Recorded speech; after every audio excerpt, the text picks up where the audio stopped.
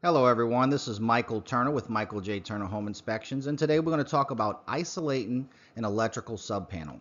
What does that mean? Well basically if we look at this diagram here we have a meter base. This is where Entergy or Cleco puts in their meter. Let's follow these lines out. We have a red wire, we have a white wire, and we have a black wire.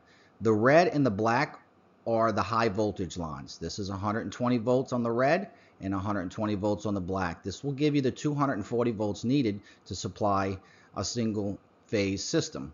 Uh, the neutral comes right off of the meter and it follows into the into the main electrical panel. As you can see, we have a black and a red, a white and a green.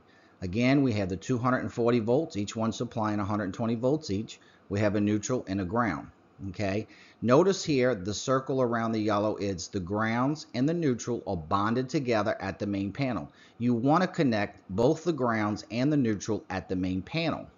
Now sometimes we have subpanels which is downstream. So I'm going to read to the side here. It says a subpanel is an electrical breaker panel downstream of the main breaker panel the main principal breaker okay?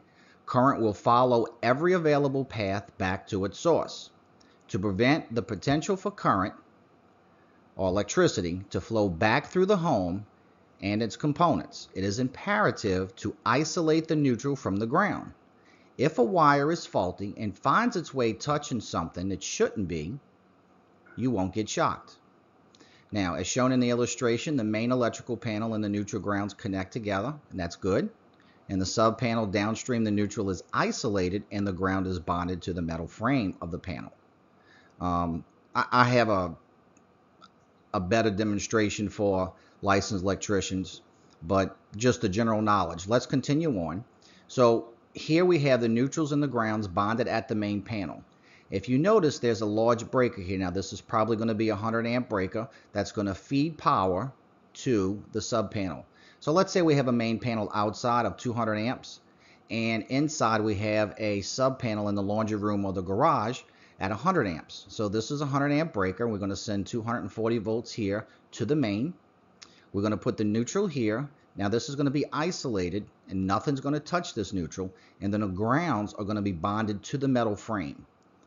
This is where we want to isolate the panel. Now many times electrical panels will have a bus bar that ties the neutrals and the grounds together. This bar would have to be removed. Okay. All the neutrals would be installed on the neutral side and it would be off the panel, not touching any metal, usually with plastic bushings. And then this terminal bar that's installed, most of the time the manufacturer does not provide it, so the electrician is going to have to provide it. This will be mounted to the metal frame. And like I said, it's important to separate and isolate the neutral from the grounds at the sub panel only. This is what I have for you. Michael J. Turner, Home Inspections.